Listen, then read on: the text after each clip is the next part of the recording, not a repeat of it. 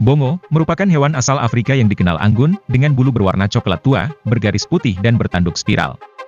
Hewan ini merupakan salah satu hewan misterius di Afrika, karena hewan ini sulit ditemukan, karena jarang muncul di lingkungan terbuka, dan hidup dalam kelompok kecil.